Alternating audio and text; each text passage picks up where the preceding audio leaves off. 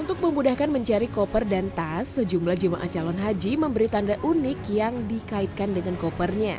Seperti yang dilakukan sejumlah jemaah calon haji di embarkasi Asrama Haji Sukolilo, Surabaya, Jawa Timur.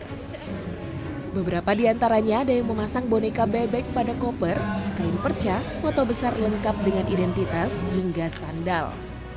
Sehingga koper nampak berbeda dengan koper-koper lainnya. Panitia pun mengizinkan jemaah untuk memberikan tanda ini karena tidak mengubah bentuk koper resmi yang seragam dan tidak menyalahi aturan penerbangan.